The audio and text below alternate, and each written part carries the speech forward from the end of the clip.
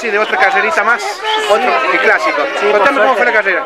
Ya la- largamos todos juntos, vinimos ahí, ahí poca ventaja le traía. Venía bien la yegua, pero pensé que acá arriba que me iba a, hacer, me iba a costar un poco.